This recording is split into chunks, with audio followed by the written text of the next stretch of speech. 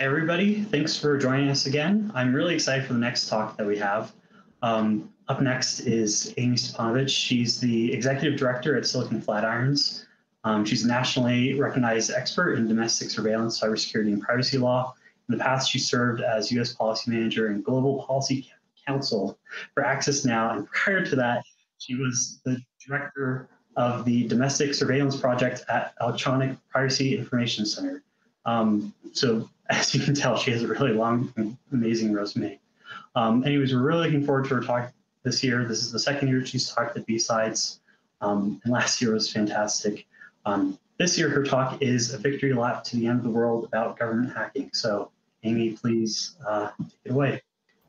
Thanks so much, Will. What a wonderful introduction. That was way too kind. Um, I am going to pull up some slides, hopefully the right tab. Yes, I got it right the first time. Um, so thank you all for having me and letting me talk and present to you all on um, government hacking and more specifically um, the recent um, incident around the Microsoft um, Exchange server. Um, this is me. I, as Will said, I'm the executive director for the Silicon Flatiron Center. I worked previously at Epic and at Access Now.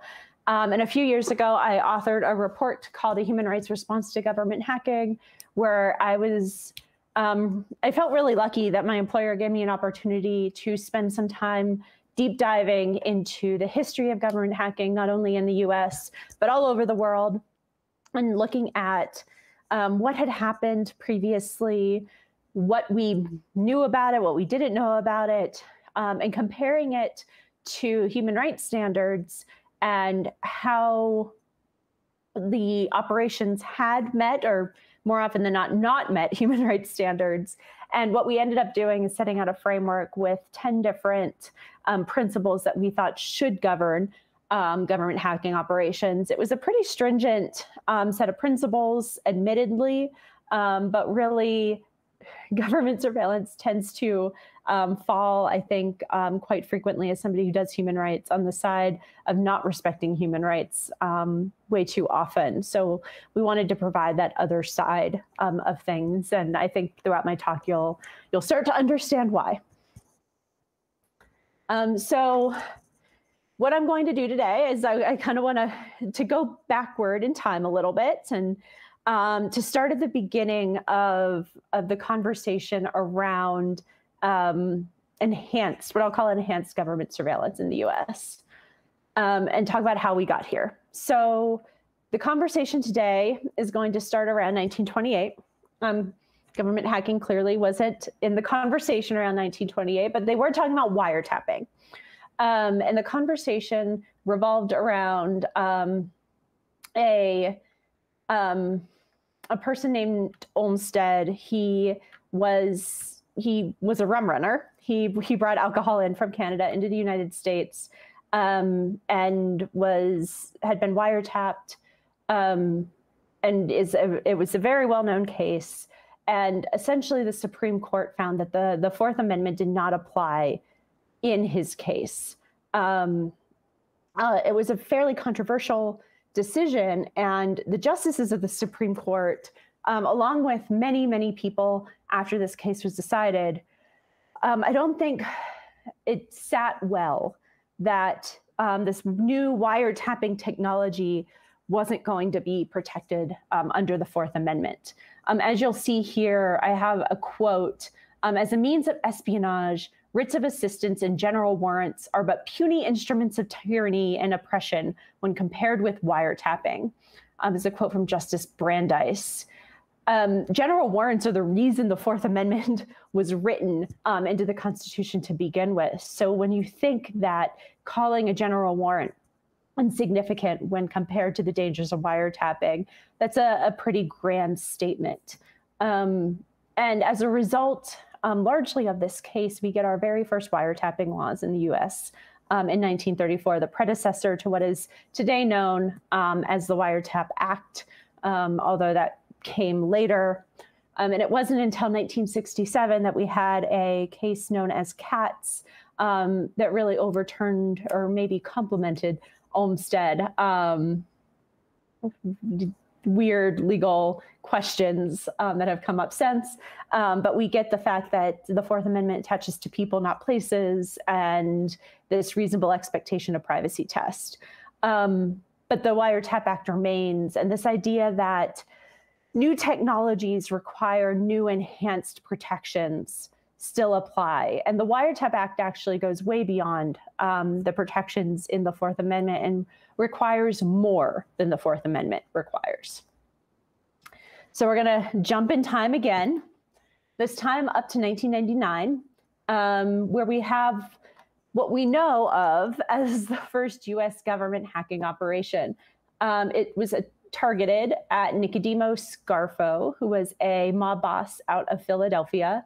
Um, and the key, it was a keylogger that was installed manually on his computer in order to get a password. Essentially, he was using um, end-to-end encrypted email, um, PGP, and they needed to get the password in order to um, be able to to know what um, what he was sending back and forth.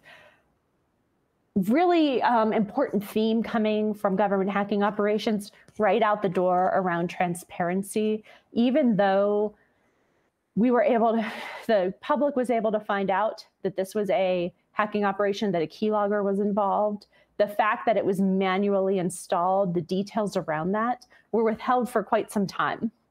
And a lot of journalists um, and public information, um, open government um, advocates had to do a lot of digging in order to get the details out around this case, which is going to become um, a recurrent theme throughout government hacking operations. The government never volunteers great, um, great amounts of information about what they're doing in these cases. People really do a lot of digging in order to find out what's going on. Um, so we'll call this generation one, um, which leads to, of course, generation two, the rise of the government hacking machines. We, we, can, we can say. Um, we'll get tools like Magic Lantern and CIPAV um, you know, technology um, folks and lawyers both love acronyms. And so there's a confluence here of just an abundance of acronyms. Um, computer and Internet Protocol Address Verifier. These are remotely installed tools um, that also communicate remotely and are used to collect um, varying amounts of information depending on the operation at issue once again, we have um, a number of journalists to thank for the information that is publicly available um, about these tools and about the operations in which they are used. Um, in particular, a bunch of journalists at Wired Magazine. Um, and I want to offer my personal thanks to the folks at Wired. Um, they've done some great reporting on US government hacking operations and on these tools. And if you're really interested about the history here, um, I suggest that you look up Wired's reporting um, because it's it's pretty stellar. One case in particular that I, I have found really um, educational on this specific generation of hacking operations is in re warrant to search a target computer. Um, case name really rolls off the tongue, right? You're you're really going to remember that. I know. Um, essentially, it was a case out of um, the Southern District of Texas in 2013. Judge Stephen Smith. Um, there were a few holdings, but two of them really specifically stand out. And we're going to come back to these holdings a few times as I continue through um, the talk. The first one is that the warrant application, um, in this case, the government's um, request to conduct the, the search, the hacking operation, did not satisfy the territorial limits of the rule governing um, the authority of the magistrate to issue the warrant. Um, Judge Stephen Smith said, I have limits on my ability to issue a warrant in this case um, under the rules of the federal rules of criminal procedure.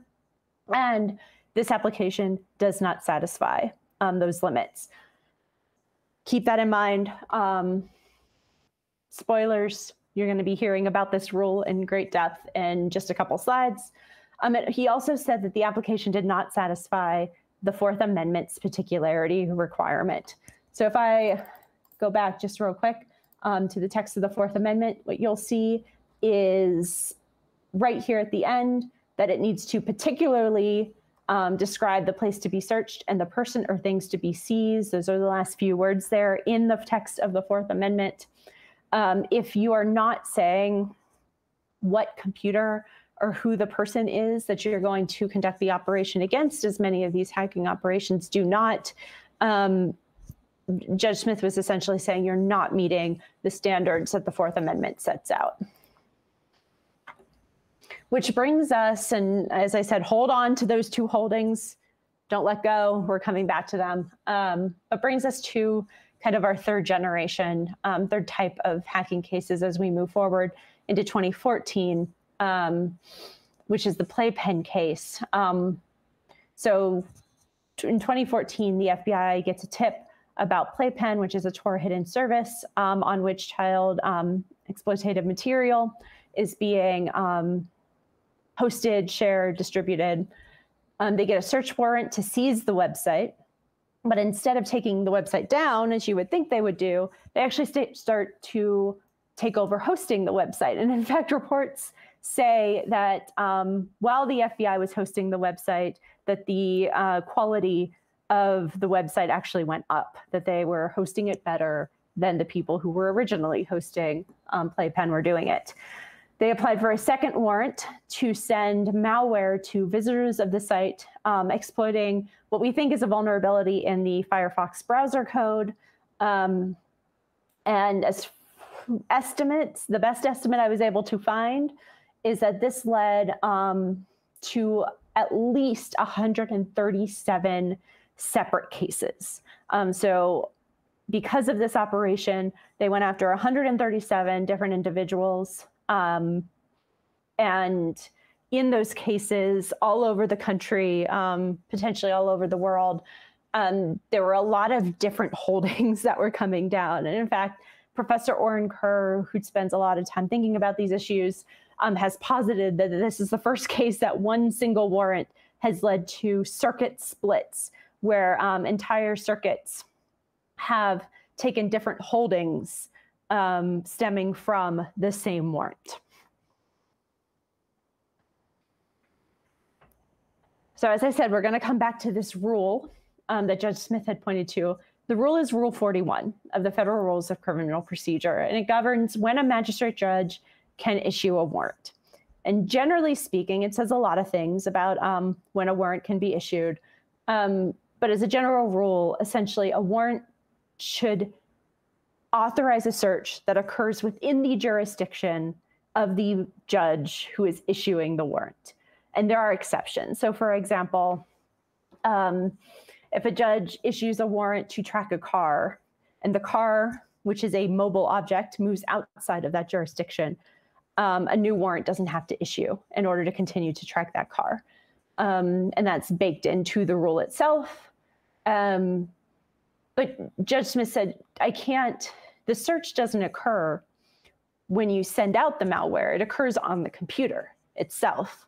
And so, unless you know the location of the computer, I'm not able to issue this warrant. And courts in the Playpen case started thinking about this as well. And they started saying that we also have to say that these this warrant wasn't validly issued. Um, it didn't meet the requirements of Rule 41 because you didn't issue the warrant in the location where these computers were located. And therefore, it doesn't meet this um, jurisdictional requirement that Rule 41 has, um, limiting where you can, um, where the judge could have issued this warrant from. And this was triggering the exclusionary rule, which basically said that if a warrant is invalid, the evidence from that warrant should be excluded. Um, as I said, these cases were all over the map. Um, judges were handing down all sorts of different verdicts um, as evidence, and as these warrants were getting, this warrant, singular warrant, was getting challenged. Um, and some of the cases were saying Rule 41 made this warrant invalid. Um, and so cases were starting to get thrown out because of it. And this worried the FBI, Department of Justice, um, for clear reasons. And decisions were made that they were going to start to pursue amendments to Rule 41 to allow um, this type of operation to happen um, in the future. So the amendment that they were pursuing essentially allowed um, for two different new exceptions to that jurisdictional requirement. The first was if the location of the computer was being uh, that they were trying to search was being concealed using technical means, and the effects um, from the computer were being felt in the jurisdiction, um, then the judge could issue a warrant from anywhere. Um, the second was if damaged computers were located in five or more districts, then um, a judge could issue a warrant from anywhere. And this was a very contentious rule change. Um, they also changed the notice requirements for people impacted. And advocates, experts, technical um, technologists all came out and said this is a bad idea. You shouldn't put this rule change into effect. They had a lot of arguments against it, the least um, of which is you are taking away a procedural limitation without considering whether or not we need substantive rules. So, whether or not this type of operation should be happening really is a question for Congress. Um, but Congress hasn't had a chance to speak to that. Um, but instead, what you're doing is wiping away this procedural safeguard that is in place um, without going through Congress, who typically would be needed to authorize this type of activity, um, kind of seen as an end run. Most of the debate, most of the discussion focused on this first prong. Um, location being concealed using technical means, effects being felt within the jurisdiction. Very little discussion actually focused on prong two, which becomes really relevant when we start talking about the Microsoft Exchange case, which we're going to be getting to um, very shortly. But I want to make sure you had this background on government um, hacking operations more broadly and on Rule 41 very specifically, um, and why the exchange case, um, which will tell you why the exchange case is so incredibly important.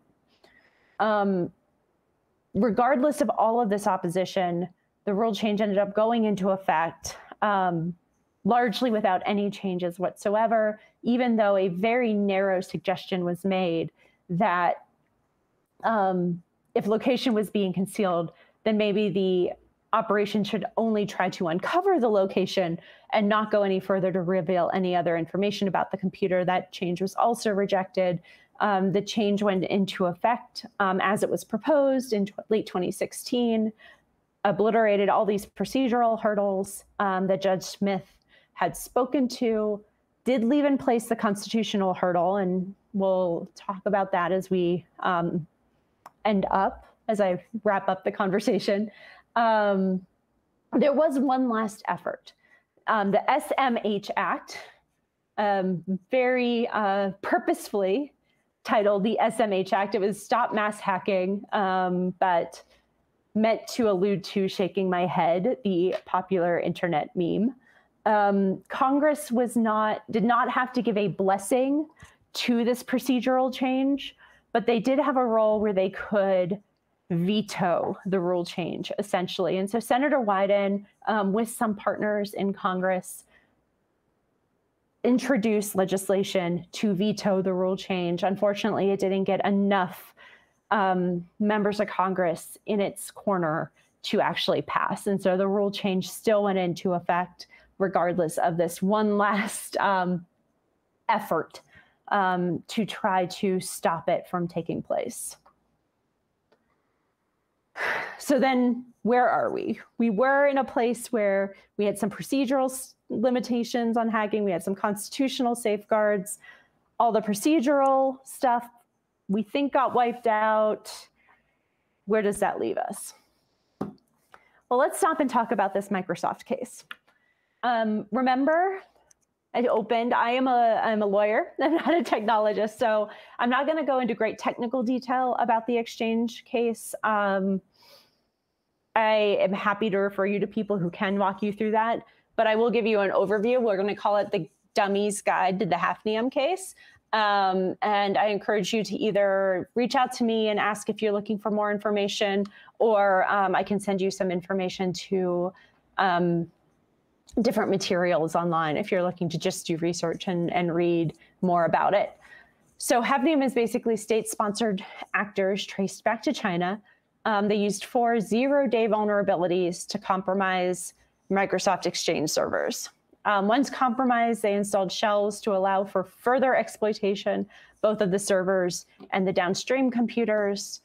Um, following several reports that um, both the original Hafnium actors as well as other actors um, were using the vulnerabilities to compromise the servers, um, Microsoft started to issue patches. Um, the FBI actually got involved. CISA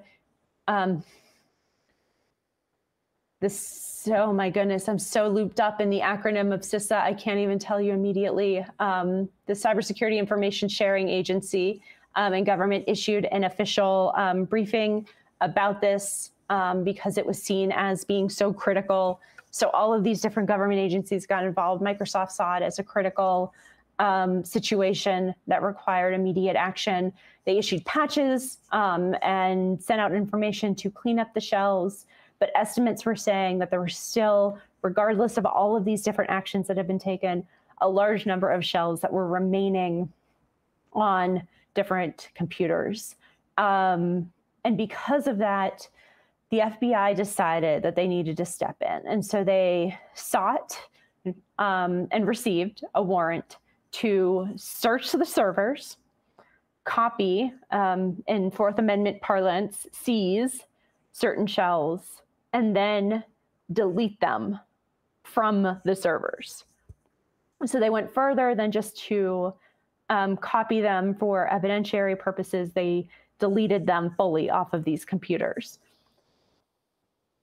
I want to identify a few things that they did that went a little bit beyond what they were required to do um, by law. Um, in the warrant application, they identified exactly which um, servers they were going to search, um, they looked up WHOIS data. They based the application um, specifically on the difficulty of removing the web shells. They referenced that they had passwords um, for the execution of the operation. They tested the code in advance internally and with external experts um, to limit the impact on other files. Um, they requested delayed notice. If you remember back, I said the Rule 41 amendments changed how notice had to happen. Um, but they actually engaged in some early notice um, in addition to the request for them to delay notice so that they could try to do extra outreach to folks who might be impacted in advance, even though they didn't have to.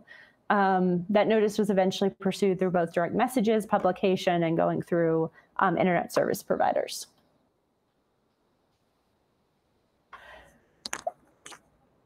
And eventually they published and they let the public know what they had done and what was the public response? It was overwhelmingly incredibly positive. Um, i published i put on this slide a few of the um, stories that were published. The fbi might have fixed your microsoft email server said nbc um, work to remediate the compromises continues. Um, you see just Security says, were the government's actions helpful based on the information available now? The answer is yes. Just Security is generally seen to be pretty um, left leaning.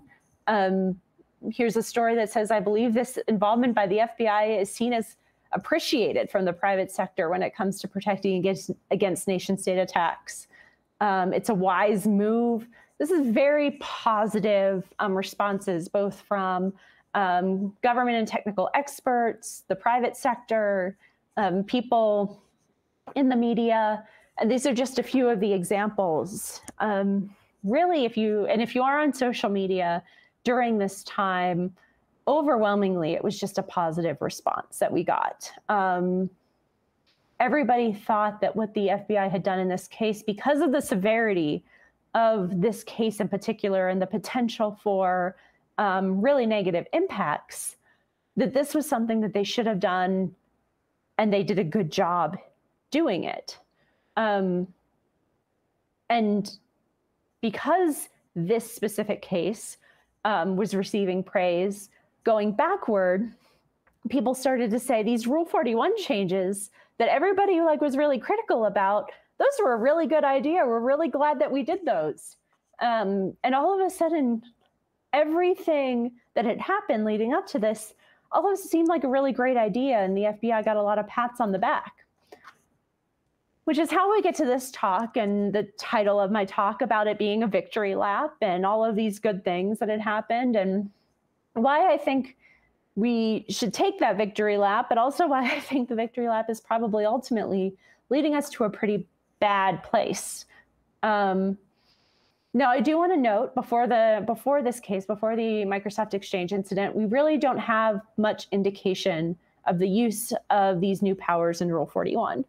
Now, remember, I said it is a theme in Microsoft hacking operations that there's very little transparency about what is happening. And it's up to journalists and open government advocates to track things down. It's really hard to figure out what's going on and where it's going on. And so, while we have not much indication that they have been used, it doesn't necessarily mean they haven't been used, um, but it doesn't mean they have.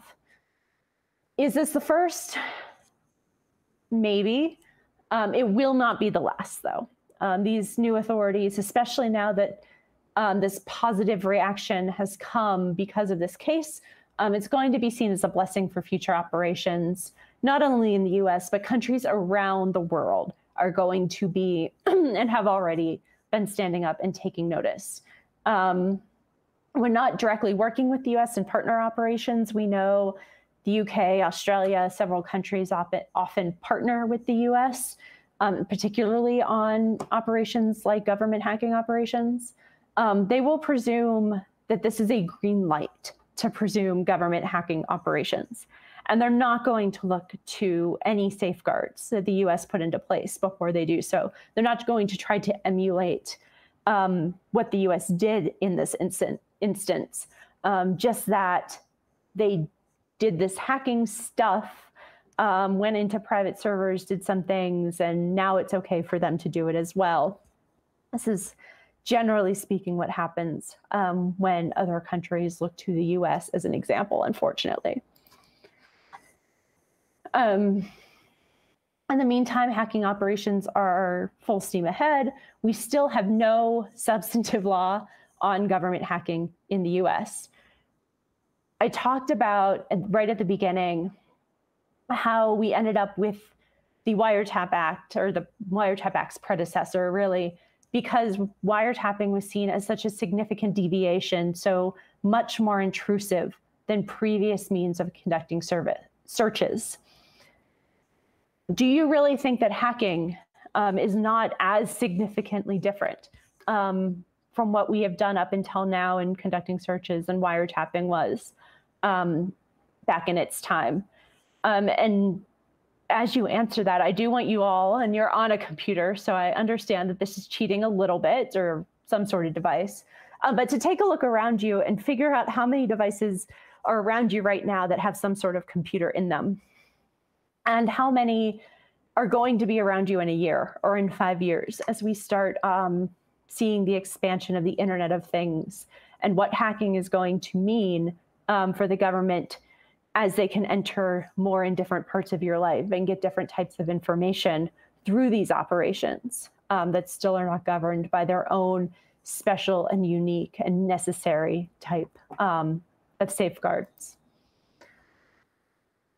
There's another quote from Justice Brandeis, Brandeis um, in the same opinion, um, looking through to say, you know, someday there may be developed a way by which the government, without removing papers from secret drawers, can reproduce them in court, and by which it will be enabled to expose to a jury the most intimate occurrences of the home.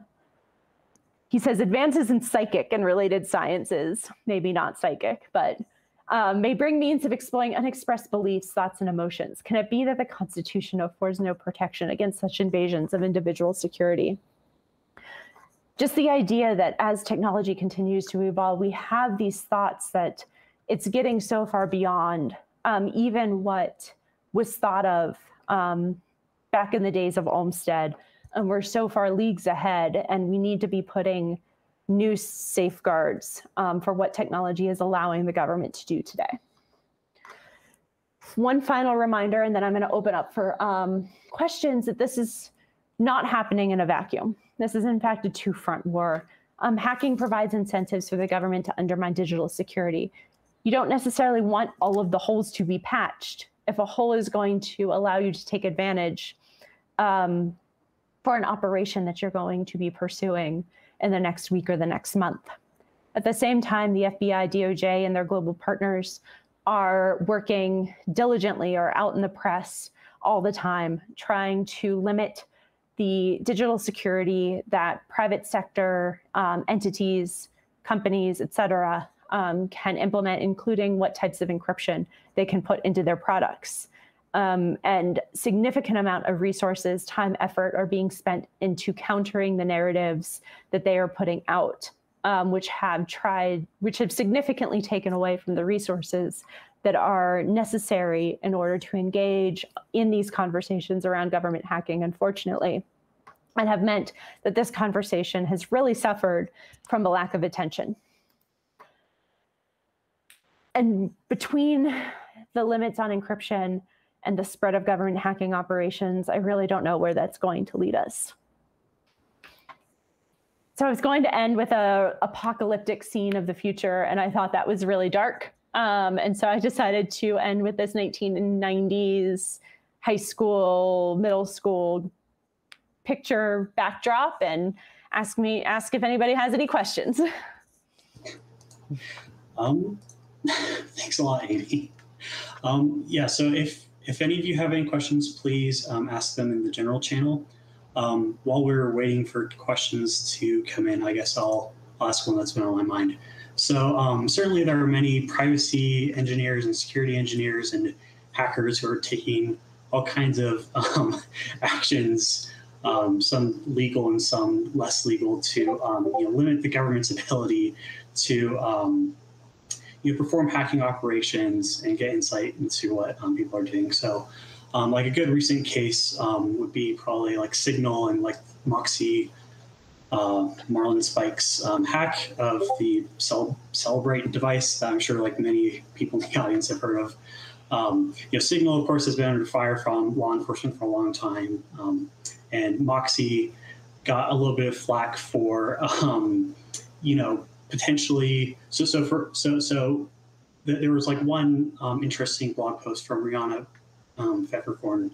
I might be mispronouncing her name, but um, that, that, that says something along the lines of you know actions like Moxies, which are you know hacking devices used by the government, rights, um, you know provide like ammunition essentially to lawmakers and law enforcement to kind of increase their capabilities and um, increase their leeway. And so, um, you know, on the one hand, we have, we have um, you know people like people saying that you know these these actions that you know privacy engineers and security engineers are taking is kind of giving lawmakers more ammunition to um, you know pass legislation that we don't really want them to. On the other hand, it mm-hmm. seems like lawmakers have been very happy to try and push the limits of what they're able to to do to begin with. Mm-hmm. So um, I guess I guess what I'm getting to with this very long-winded question is first of all, um, do, do, do you believe that like you know things that you know, security engineers and privacy engineers are doing um, to limits like government hacking operations are, um, and, and, I guess this goes a little bit into what your last B-sides talk was, right? But um, do, you, do you think they're like um, meaningfully, you know, causing lawmakers to increase the likelihood that they're going to pass legislation that outright bans end-to-end encryption or you know may you know, increases the legality mm-hmm. of government hacking operations and um, the second thing is, you know, um, whether or not you believe that it's like going to meaningfully move the needle there. Um, is that something that like privacy and security engineers have to be um, concerned about, in your opinion? Like, do do do they have to kind of limit, um, you know, the the actions they're taking and the technologies they're developing, so that they're like keeping the government sufficiently happy, um, you know, with their capabilities without you know, like kind of overstepping their boundaries? So I think there are a few things there. There are technologists who I've spoken to who very much don't want to think that policy is a thing and don't want to like engage in the legal pieces of it.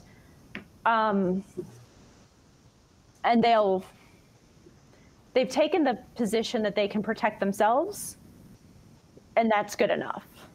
And I understand that. Like I know how to protect my communications. I know how to, you know, secure my devices and that's great coming from a human rights background, I think there's an element of working to secure the broadest number of people that you can and how to make sure that many people are able to keep themselves free from unwarranted government intrusion.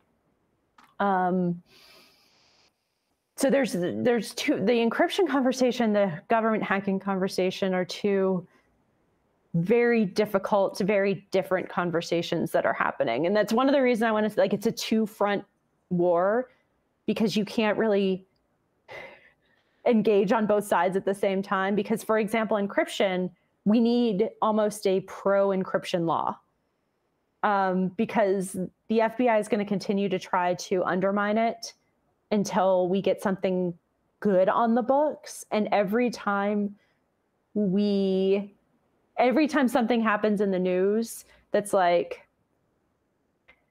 for instance, Cellebrite is like, we can hack into Apple devices. And then Apple's like, we've stopped them from being able to do that. And Cellebrite's, we've gone around like all of those back and forth that you've seen over and over and over again.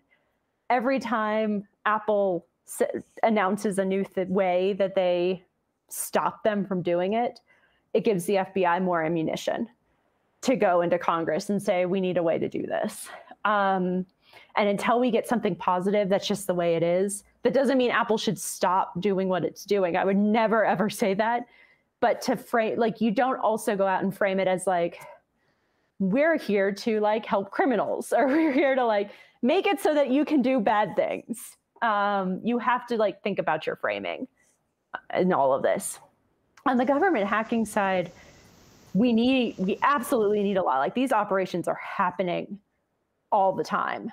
Um, and there are people, there are very hardline people who are like, no government hacking should happen at all. And I don't think that's realistic, if I'm going to be totally honest. And I understand where those folks are coming from. I think getting looking at the Constitution, and realizing like when that particularity piece comes in and knowing we have to abide by the limits of the constitution but then having the extra protections written into law is going to be really important um, and there's a lot that can be done by non-government hackers to show what's possible um, that is really great to have those op- that stuff out there within the confines of the law do not break the law this is not legal advice I'm not telling anybody to go out and break the law. That's not a good thing. But going out and doing things that show the potential of what the government can be doing and publishing and, and talking about what's possible um, can really start to pull the the curtain back on what the government could be doing for people who might not understand otherwise, like Congress. Yeah, that makes sense. All right, we have had a few questions. Um, let's see here. I'm going to scroll through here.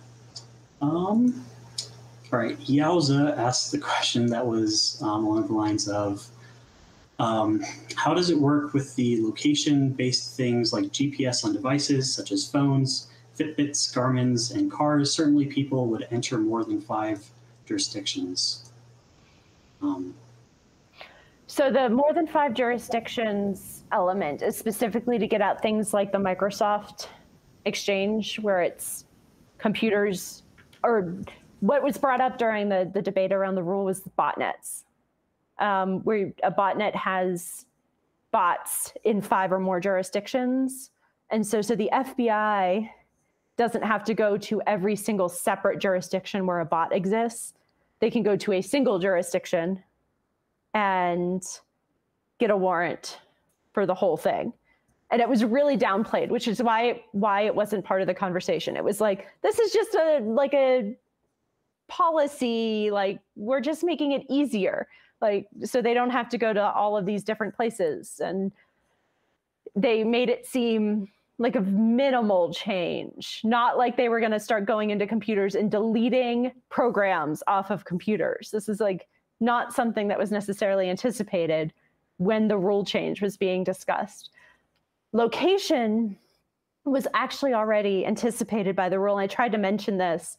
So if your car is being tracked, like I said, and you get a warrant in one one jurisdiction, and then in, and the tracker is installed in that jurisdiction. If anybody remembers the US v. Jones case, the reason that warrant was invalid is because they installed the tracker outside of the jurisdiction where the warrant was issued, and actually after the warrant was no longer valid. Um, but if you install while the warrant is valid in the jurisdiction, and then that car drives into as many different places as possible, you don't have to go to all of those different places. Same with any location tracking. People move. All right. We have um, another question from Scrin to Win. Um, considering that Rule 41 defines location of the endpoints as the location where the crime is committed for jurisdiction purposes, does that mean that, uh, in the example you gave, if the Tor exit node is in state A and the consumer's computer is in state B, there is interstate trafficking of exploitative media? Um, yes. Start start with that. There's a little bit more to that question after that, but with. So it's about the difference between the is it the difference between the Tor exit node and the computer itself? Yeah, looks like the question's about, um, and, and if you want to clarify by, by the way in general, feel, feel free to do so. Um, it's about um, whether, you know, if, if a Tor exit node's in one state and, you know, like my computer is in another states, um, whether that's, um, I guess, that, that constitutes interstate trafficking of exploitative media and like whatever laws are um, kind of there surrounding surrounding that. So, Go ahead. Sorry. the, I mean, if you're using Tor to be- to be, then you're engaging in obfuscating your location using technical. It's my my slides are still showing, right? Yes. Yes. Do, do, do. You are concealing your location using technical means. So it, it wouldn't matter necessarily where you were versus where the different, where any of the Tor nodes were, including the exit node. Um, at that point, you are concealing your location because you are sending your traffic through the Tor network. Um, actually, same with any VPN, potentially. Um, so that is what this is meant to do. Rule 41 doesn't go to, to the crime itself. So child exploitation material is a absolute crime. Mens rea doesn't like doesn't matter what your state of mind is. If you have it, it's a crime. Um, federal, state, whatever it is, like it. What this just goes to whether or not they can need where they can get a warrant to search your computer for, not necessarily if it's a crime or not. Um, like I said, this is a procedural limit, not substantive. It's not speaking to the substance of the crime. This only goes to where they can go to get the warrant for it. All right, I think we have enough time for two more questions. The first one from Urban is um, what current um, work is going on in Congress to like address the issues that you've discussed um, in your presentation? um, Senator Wyden has still been very active on these issues. Um, has been out in front discussing them. He actually, I don't know if anybody knows Chris Soghoian, um, used to be the chief technologist at the American Civil Liberties Union. Works with Senator Wyden's office. Incredibly smart. Actually testified against Rule 41 when he was at the ACLU. Um, so he leads a lot of the work that um, Senator Wyden does. Definitely pay attention to that office um, in particular. And then I know what else is happening up there right now with the transition in the new Congress? I don't know if there are actively pending bills that I'm aware of. Um, but there are several different offices that get involved in this issue um, on and off. Um, and that is the Wyden's is really the key office, I think, to key in on because normally he'll be, if he isn't sponsoring the legislation, he's promoting it.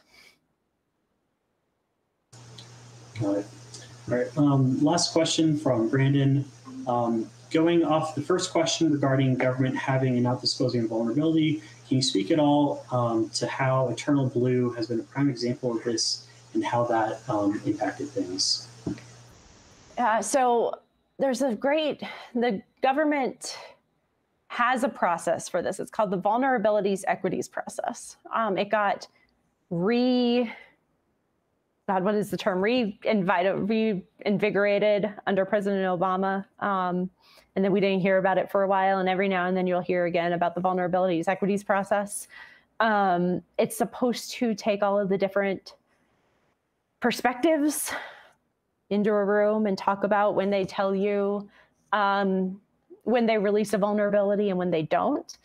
Uh, but clearly, with Eternal Blue, we've seen that not only um, are there equities at stake about when they might want to use a vulnerability versus disclose it, but if they can even guarantee that they're protecting what they're keeping. Um, one of the things that I worked very hard at for a while was this idea that the NSA, the National Security Agency, has two separate missions um, that actually under Admiral Rogers, when he was the head of the NSA, stopped being two separate missions and he just like decided to make them a mission of signals intelligence and information assurance. So they're both the code breakers and people who tried to make the code better. And under their information assurance mission, they're responsible for consulting with NIST, to the National Institute for Standards and Technologies, about encryption standards. And it came out under Snowden that they were basically like working to undermine encryption standards to preserve their own hacking capabilities. Um, and NIST came out with like we're not going to let you do that anymore and standards around it. I think we need more of those like flat out you can't do this. These are the limits of what we're going to allow you do, to do in the name of preserving your ability to break into systems because we've seen the consequences and it's getting worse and worse and worse for people, um, not any better. And again with eternal blue and the fact that they're not protecting even their systems like nsa used to be untouchable nobody thought that anybody would ever be able to break into that big dark black building in maryland and again and again and again we've seen that that's not true uh, um, anymore and we need to rethink i think a lot of things around that Great. Well, thanks a lot, Amie. Um, and thanks everybody for your uh, great questions. Um, next up, we have Kurt Baumgartner talking about um, threat attribution. So I um, hope to see our next talk at uh, 3 o'clock.